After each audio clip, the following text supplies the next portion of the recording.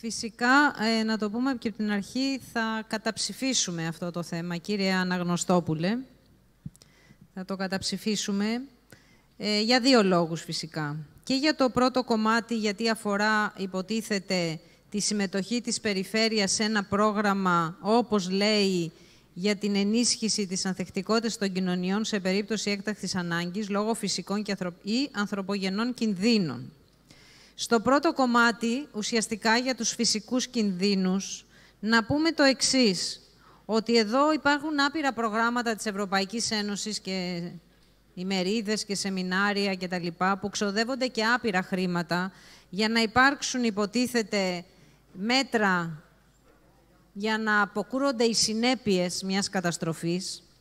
Εμείς όμως θέλουμε να πούμε ότι δεν καταβάλλεται καμία, τότε με αλφαγιώτα, καμία προσπάθεια και δεν χρησιμοποιούνται τα κονδύλια κυρίως για την πρόληψη των καταστροφών, κυρίως για την άμβληση των συνεπειών,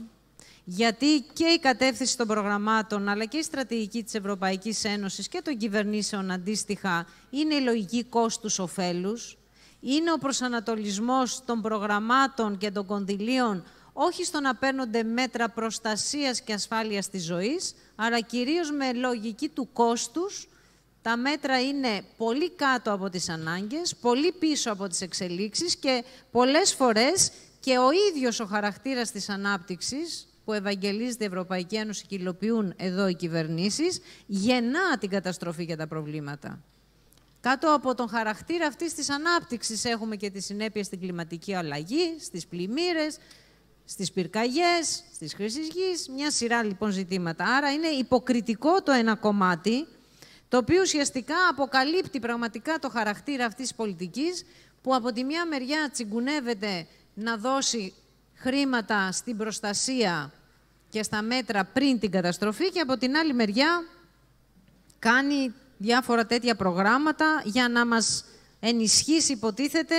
στο πώς θα αντιμετωπίσουμε μία καταστροφή αφού αυτή γίνει. Και το δεύτερο στοιχείο είναι και αυτός ο τίτλος που λέει εδώ ανθρωπογε... «Ανθρωπογενής κίνδυνη», που φυσικά φαντάζομαι θα μου απαντήσετε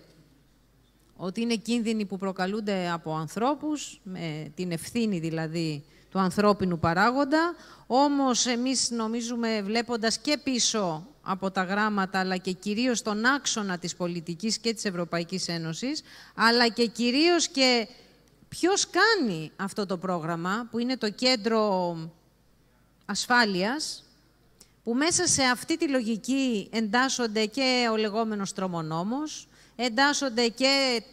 οι ανθρωπογενείς κίνδυνοι και το ζήτημα του προσφυγικού και το ζήτημα των κινημάτων και πολλά άλλα τέτοιου είδους ζητήματα, τα οποία για την Ευρωπαϊκή Ένωση γεννούν κινδύνους και πραγματικά θέλουμε να, να επισημάνουμε ότι μέσα σε αυτά τα προγράμματα κυρίως, κυρίως στο στόχαστρο μπαίνουν